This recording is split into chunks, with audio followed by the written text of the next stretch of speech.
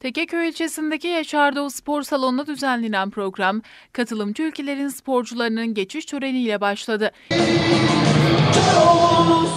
İstiklal Marşı'nın okunmasının ardından seremoninin açılış konuşmaları yapıldı.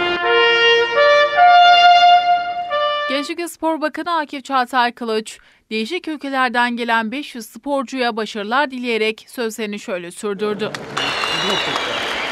Öncelikle burada 500'ü aşkın sporcuyla beraber yapılacak olan müsabakalarda tüm sporculara başarılar diliyorum.